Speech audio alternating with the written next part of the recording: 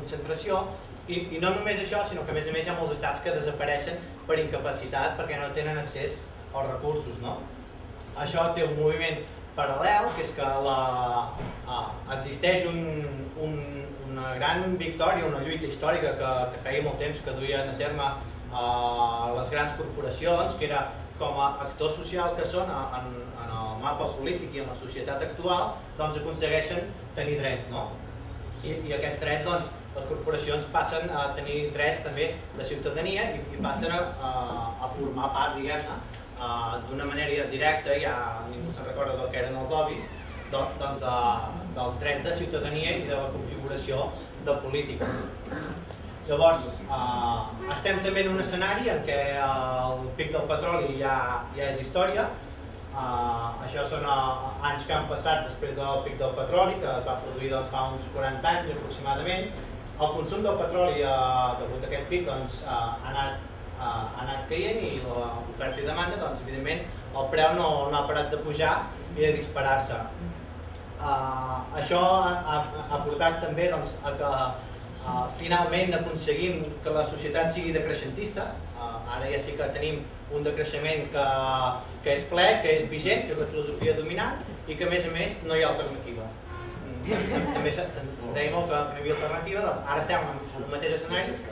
en què en el decreixement doncs no hi ha alternativa, per tant també és una victòria històrica que aconseguim que el decreixement estigui en, eh, en, en el panorama del, del dia a dia. Evidentment, doncs, aquest, aquest increment de, dels preus de, del petroli ens porta, aquí hi ha un exemple que, que és el dilema de la gallina pròpia, pobra, diu, certament era una decisió difícil de prendre, però em sembla que hem fet el correcte. Amb els temps que corren és difícil doncs, pujar quatre canalles, quatre infants, i, i llavors doncs, eh, davant del dubte de la supervivència doncs, es, eh, es, es planteja un dilema d'aquesta índole. Eh, aquest exemple doncs, és extrapolable a la situació que ens trobem a, en molts camps a, dins del marc del decreixement i això també aplica doncs, en el cas de, del tractament de les aigües. No?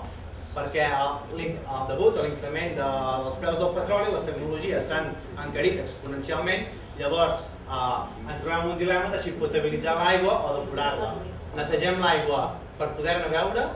o, si, o la depurem per retornar-la al medi i això no sabem realment quin retorn tindrà o què, què ens genera en termes de supervivència. I llavors aquí clarament hi ha hagut una aposta molt clara per la potabilització de, de l'aigua en detriment de, del que seria uh, la, la depuració. Però clar, aquí una altra victòria que hem, que hem guanyat, que és uh, aconseguir implementar la plena recuperació de costos en temes de l'aigua. No? Uh, els costos s'han disparat, també en termes de potabilització, les tecnologies són molt cares i llavors doncs, uh, com a ciutadania tenim dret a decidir si volem uh, tenir una aigua uh, doncs, accessible econòmicament per tothom, tot i que potser doncs, el tema de qualitat eh, quedaria en un pla secundari, o volem una aigua que hagi pogut estar tractada i, i que per tant sigui, sigui de qualitat.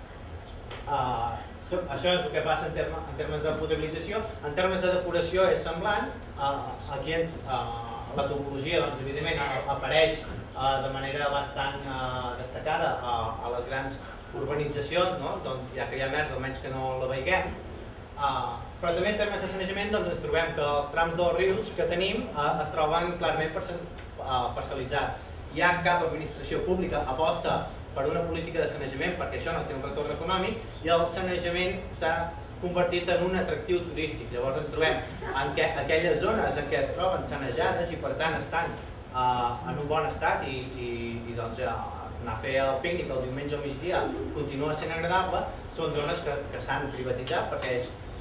l'accés al capital està per part de les corporacions privades i per tant ofereixen espais de lleure que són lliures de contaminació, amb el qual ens trobem eh, trams de riu que, que són nets eh, gràcies a l'acció del sector privat i altres trams que la inacció fa que estiguin clarament contaminats.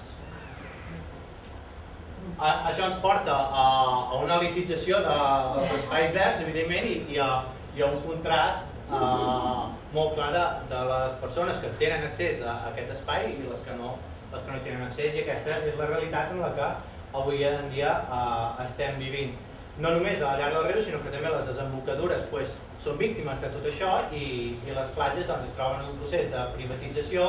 eh, així com fa 100 anys doncs, el reclam era que no hi hagués discriminació per, per qüestions de color de la pell, avui en dia les discriminacions es donen per eh, temes de capacitat econòmica, qui pot accedir eh, a disfrutar del medi natural en el qual, en el qual vivim. Llavors, ah, la presentació ja està, una mica la idea eren aquestes, ah, sí que s'ha demostrat ara el, el 2050 doncs, que la visió més, més liberal de, del darwinisme s'ha acabat imposant, aquella que ens oferia una perspectiva més competitiva i, i han quedat totalment abandonats eh, èpoques en què es parlava de cooperació internacional, objectius de desenvolupament del mil·lenni, que després d'ells serien objectius de desenvolupament sostenible, que, que ja va ser l'avançada el que després va suposar la corporativització i la financiarització de tot el medi ambient i, i llavors eh, en aquests termes bueno, una mica aquest exercici de mirar enrere per veure com, com hem arribat fins aquí. Molt bé. Molt bé.